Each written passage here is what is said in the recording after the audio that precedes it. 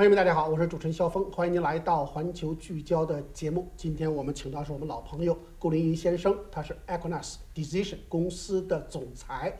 嗯，顾先生呢是我们节目当中的金融问题的专家。今天我们请他来聊一聊美国联储会的加息与美元的坚挺对世界经济，包括对中国的经济都有什么样的影响。呃，顾先生。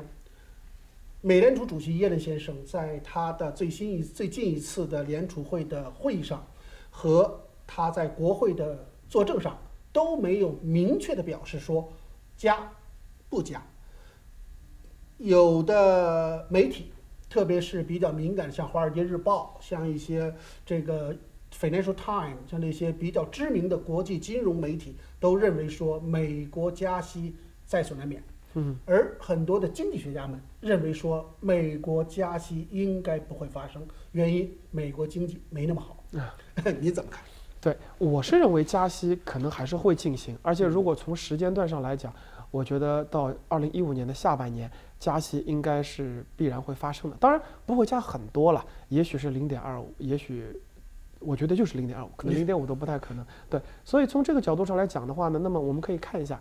就是决定加息有哪些因素啊？就是从二零零八年的金融危机到二零零九年三月，到股市到最低点，到现在为止，过了六年的时间，美国的股市可以说是一路高歌猛进，就是因为市场上又印了太多的美元出来了。对，那么呃，决定是不是加息，看几样东西哈。第一，最关键的是看这个国家的经济结构是不是已经足够强大和合理到可以承担。在主要经济的驱动力，中小企业融资成本变贵的情况之下，他们仍然可以持续的招募和增加自己的产能。这句话说的有点复杂哈，但是通俗一点来讲，就是所有的经济运行主体能不能承担相对比较昂贵的借贷资本？如果能够承担，那么加息就是可以的；如果不能承担，这件事情就不能做。这是第一。第二是经济有没有过热的迹象出现？一般来说，加息，尤其是从中高端向更高端加息，往往是为了遏制过度的投资。呃，那么这是第二点。第三点是要看 CPI，就你讲到通货膨胀。如果通货膨胀始终能够保持在一个相对比较温和的态势，一般情况下大家不会加息。当你的通货膨胀开始变得非常疯狂的时候，加息才会变得更加重要。这也是为什么，呃，经济学家和呃。普通的是所谓的就是非经济学家之间会有如此这个剧烈的争执哈，因为我刚才讲的这几点并不都完全满足，也并不都完全不满足，所以双方见见仁见智，观点不一样。但在我看来，我倒是认为加息应当是可以一步一步开始。原因很简单，首先在过去的几年当中，我们可以承认美国经济绝对不会像九十年代的时候。如此的健康和强劲，但是毫无疑问，美国的经济已经慢慢，尤其是美国的实体经济，已经开始绝对变得比十年之前要很多了，好很多了。这是毫无疑问。从一点最著名的，你就可以看到哈，美国制造业的回归，尤其是以三大汽车公司为表象，呃，这是非常难能可贵的一件事情。美国人已经开始从非常盲目的炒房开始。把它的资金能够流转到实体经济当中去，而不是在相对无序的所谓经济的呃 first derivative、second derivative，就所谓一级和二级的金融这个衍生产品当中来寻求获利。这个呃对于美国实体经济的贡献是有巨大的帮助的，这是很重要的。第二，美国的 CPI 虽然仍然保持温和，但是慢慢已经有抬头的趋势。所以呢，从这个角度上来讲，呃，美国适当的加息。在我看来，本身并不是一件坏事情，而且回到历史的长远阶段来看，当然了，我也不希望美国会加那么多哈。那么你回到八十年代的时候，美国你 mortgage 你住房的利息都有百分之十八啊，对呀，所以说你现在才百分之三点几、百分之四，跟百分之十八有巨大的这个上涨空间。当然，我不希望能上涨到那么多，那也是一个国家经济不好的表征之一了。所以从这个角度上来讲的话。美国虽然有加息，也有不加息的条件在，但我更多的觉得，美国加息的这个预期啊，应该还是相对比较明显。有个非常重要的一个指标。你看看今天黄金的价格，你就知道，黄金已经基本上大概跌到一千块钱了。是，呃，从当年一千八、一千九跌到一千块钱，这就说明不光是美国国内的情绪，包括全世界对于美元走强的预期都是相对来讲比较看好的。这也是为什么作为相对来讲比较保值的黄金，现在会慢慢一步一步退潮的原因。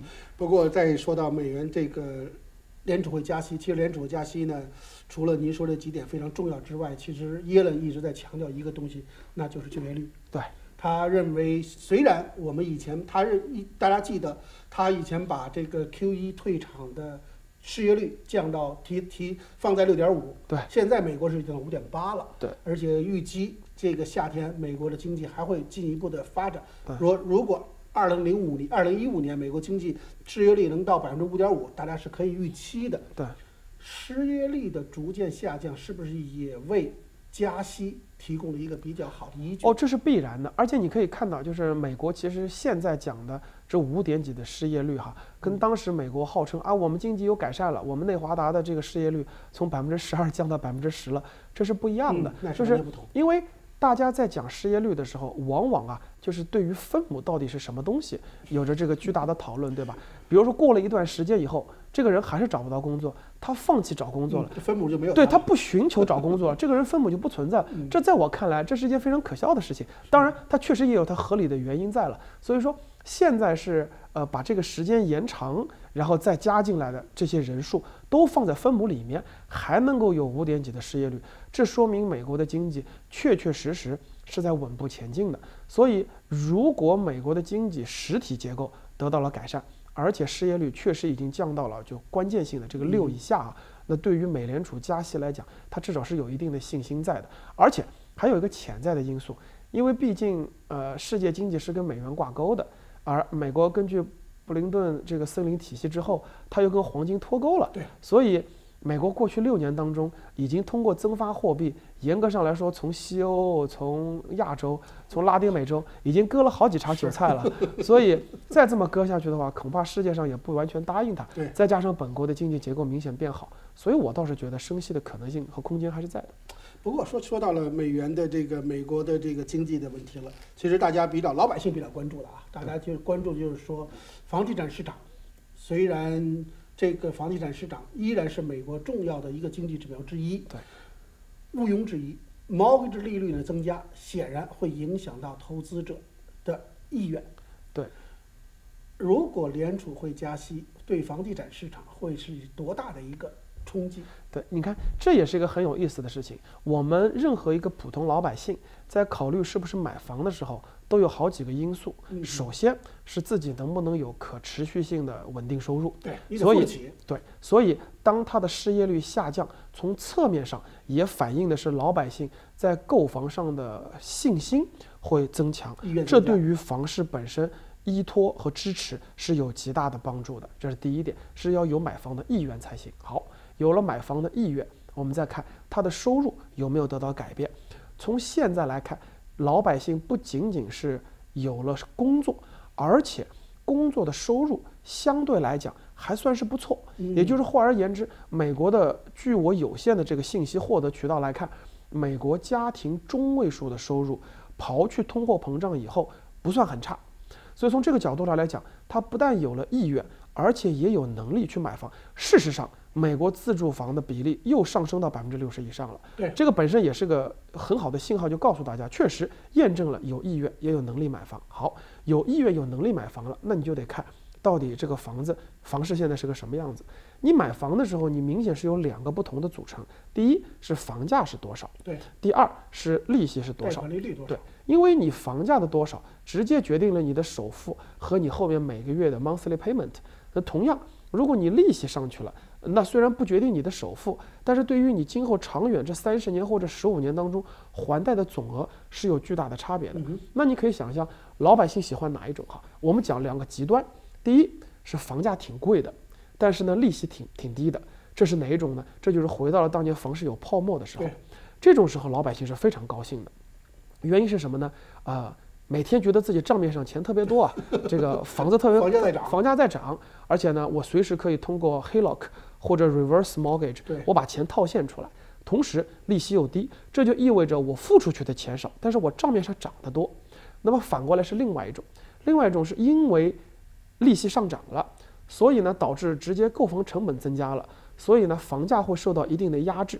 在房价受到一定抑制之后，就出现了什么情况呢？老百姓一看，哟，这个房子账面上不涨了，但是我每个月我付出去的钱还多了，所以呢，老百姓买房子的这个积极性就没有之前强。是，所以任何一次美联储的加息，都必须要恰到好处的切入到这两个之间的平衡点当中，它要让购房的主体人群觉得，首先购房是刚需，这是必须的；其次，购房的房价。不能高到让他们觉得可望不可及，同时借贷成本也不能让老百姓望而却步。这就是耶伦在考虑的时候，除了前面我们讲到这些因素之外，在房市上面他必须要保证的一点，就是让房价在一定的加息的情况之下还能够健康的成长，但同时老百姓的总体的结构性负担不会得到很大的这个增加。也就是，让老百姓觉得啊，三点三点零到三点五，我还我还能接受，但你千万别搞到我八，搞到我九，你在你房价在这个哪怕便宜那么两三万，对于我来讲意义就不大了。因为确实，美国美国政府的这个联储会其实一个重要的功能，它就是杠杆作用，它是通过利率，哎，通过汇率这样一个杠杆作用来调节美国的经济。呃，当然说到联储会以后，我们有机会还会请教顾博士，我们的联储会并不是一个。我们的中美国的国家银行并不是一个国有机构，是一个私人机构。哎，这个私人机构在这个成立一百年了，哎，在一一九一一三年就成立了，在去年前年的时候，我们庆祝它成立一百周年。当然，大家都有很多不同的看法。至于这个问题，以后我们会请顾博士跟我们聊。顾博士，我注意到，在中国人过春节的时候，三月六号，我之所以注意那点，就是那一天。美元的 U.S. Dollar Index 美元指数一百一百啊美元指数超过一百意味着什么？美元指数超过一百意味着很多事情，但是有一点是毫无疑问的，就是在新兴世界当中徘徊了很长时间的资产会加速回流回到美国境内，而这一点对于美国来说是非常非常重要的，因为呃，对于美国来说。美元的走强，那从某种程度上来讲会分成两边，对吧？美元走强了以后，会使你的出口相对来讲，呃，受到一些影响。但是同时，对于进口来讲，就会极大的促进。那么，美国到底在进口和出口之上，我们看看是什么样的一个需求？对于美国来讲，美国进口什么东西？美国进口东西我们都知道，对吧？包括从中国、从拉丁美洲，对，都是廉价商品，都是属于叫做劳动密集型。美国出口的是什么？美国出口的都是所谓知识密集型，好，那我们就要来看了，高科技什么是刚需，什么是非刚需？对于高科技的产品，对于其他国家来讲，你不从美国买，你买不到啊，这是必然的刚需。你说一百块、一百二十块、一百五十块，我也得买啊，不买这事情我干不了啊。你要喜欢 iPhone 的话，你只有 Apple 出的。对，你只有从苹果买啊，你从 梨子公司买不到这个东西啊，对吧？好，那么反过来讲。对于非刚需的东西，当然我也承认袜子每天必须得穿，可是我袜子不一定非要从你越南买啊，我可以从其他地方买，甚至我可以自己都做。没错，对我自己做都可以。所以从这个角度上来讲，美国出口导向的东西是刚需的，而美国进口导向的东西是非刚需的。所以一个走强的美元，对于美国的国力来讲，还是对于美国对世界的影响来讲，我觉得都是好事情。所以从这个角度上来讲的话，美元指数上一百。甚至继续走强，对于美国本身来讲，应该不是个坏事情。当然，这个也不能过强，过强了以后，这个就跟任何一个国家的货币，如果过分坚挺，它可能还是会比较担心。但至少美国现阶段绝对不应该有这样的担心。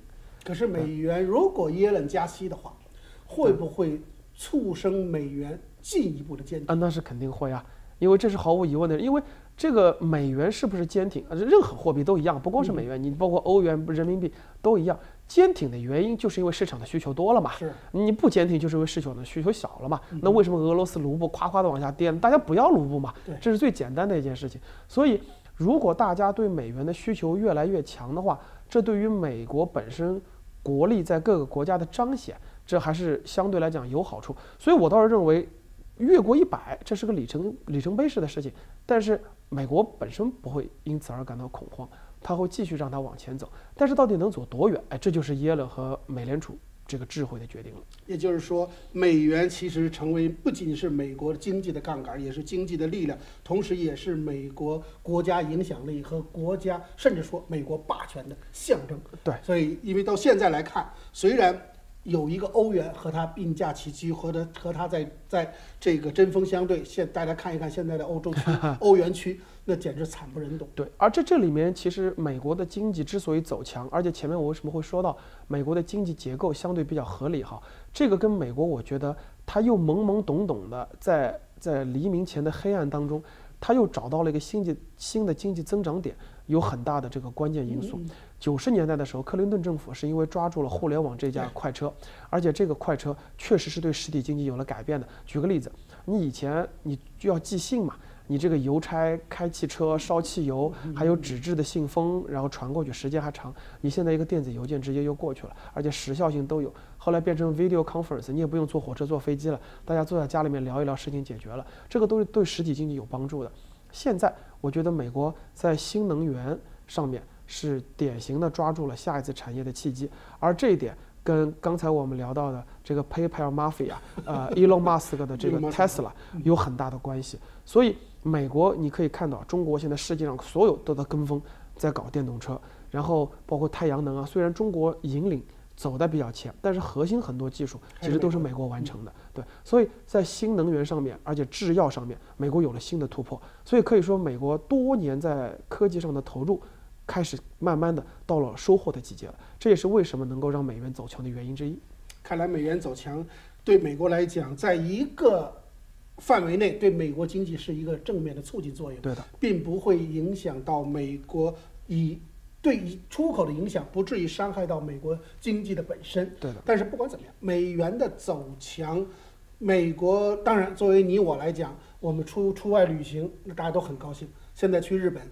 便宜啊！现在便宜啊！欧洲便宜啊！欧洲便宜啊！对，大家现在预期欧元跟美元可能在未来的几个月就有可能就黄金交叉了，就是一比一了。对，现在看来有这种可能性。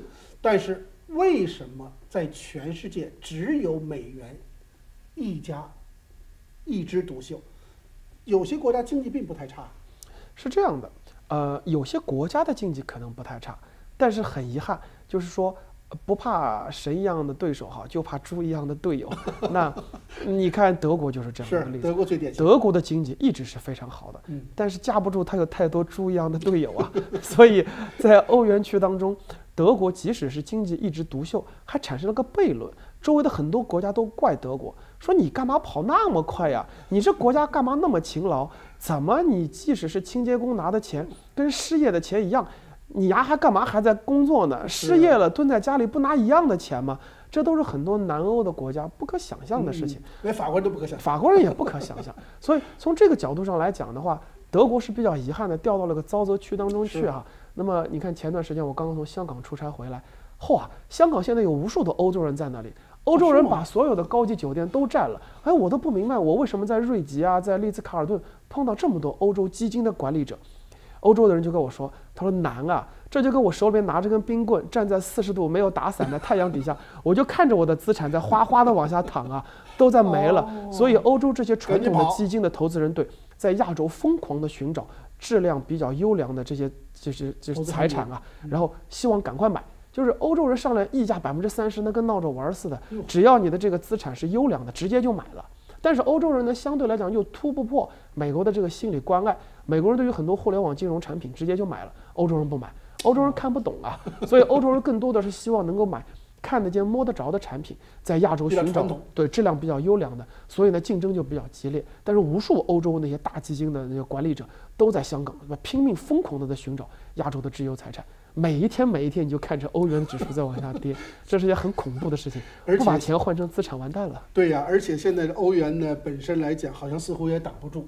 因为现在看来说，不要说一个希腊，其实希腊的经济体的规模非常小，对，并不至于影响到欧元区的一个经济发展。可是你加上葡萄牙也不会，对，加了葡萄牙也不至于。对，当然只要西班牙别倒就行。对对对，西班牙可能重要一点，意大利更重要一点。没错。但是不管怎么样，这种心理压力，这种心理作用，再加上欧洲中央银行宣布无限期的 QE，对，这个东西也是一个很大的一个影响。美元不管怎么样，现在看来对世界主要货币都在升值。对，这对美国来讲，当然从刚才您讲了是好，有一定来讲是好事儿，但是也有一定条件来讲也不完全是好事。你看，就看日本的所有出口为出口导向型大公司都在拼命盈利，日元贬值。日元日元贬值，对现在的日元汽车在美国市场上现在越来越便宜了，对对对大家感觉到说，哎呦，是不是应该开日本车，不要去开欧洲车，或者是不要去开美国车？对，美元继续的坚挺，对世界经济是一个帮助，还是说会成为一些人投机的一个做法哎？，这个完全取决于美元的坚挺背后的驱动原因是什么。这还是我一再强调的，就是比方说当年日本日元的这个走强啊，从某种程度上来说，是美国准备收拾日本，然后嗯才把日本的日元拼命的让它走强。那是有美国在炒作的因素。对对，有炒作的因素在。那么我倒是认为，美国这次美元的升值，至少在这个范围之内，仍然是健康的。这是跟就是我前面反复强调，是跟美国的经济结构有可能是进行升级换代是有关系的。任何一次国家经济结构，尤其是 fundamental 的角度来讲，能够健康的升级换代，对于这个国家的经济体的持久健康是有明显的标杆性作用的。这对这个国家的货币的坚挺也会起到很大的支撑作用。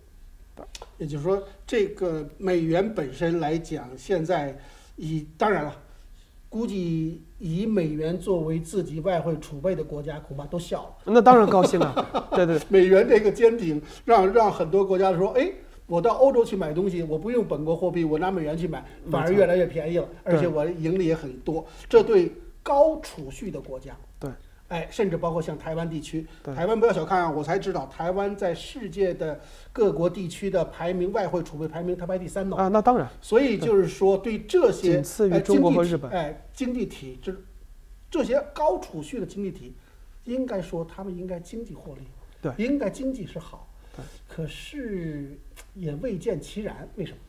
这是这样的。就比方说，我们就拿回到就是中国来讲哈，嗯，就是中国其实从某种程度上来讲，他并不关心，我只是说某种程度上啊，他并不关心美元对人民币今天到底是一比六点二六，还是明天又回到一比六点一，还是又回到一比八嗯，老百因为姓起码不那么在意，对，尤其是中国的大部分老百姓，他又不到外面去，对不对？嗯嗯嗯他每天关心的是我买青菜的钱有没有 有没有涨上去，是所以最最担心的中国的经济是中国的货币对外在升值，但是对内在贬值，这是个最麻烦的事情。所以呢，回到您刚才的问题也是一样，对于所有这些高储蓄的国家，无论是中国、中国台湾地区，还是日本，虽然它因为大量持有美国国债啊，所以美元一涨，等于它呼呼的这几几几千亿、几万亿的这个美元资产就变得越来越值钱了，也使它在全球的购买力增强了。对呀，但它更关心的，从某种程度上还是它内部的这个所谓的呃国内民生。所以，如果它的国内的这个经济结构改革不能得到改善，比方说中国，中国现在就千方百计希望能够把呃房地产如果产生下行和房地产市场冷却之后，呃蜂拥而出的像像洪水一样的这些资金啊，如何能够吸纳到，比如说 A 股的二级市场当中去，嗯还是能够把它放到 VC 和 PE 的一级市场当中去，尤其是最关键是一定要投入到实体经济当中，这是非常非常关键的，绝对不能出现当年雅戈尔西服都在盖房子的这种情况。这种情况如果再出现的话，中国就很担心。所以从这个角度上来讲，中国可能会高兴看到美元资产在升值，但更多的还是自己国内经济结构的改善。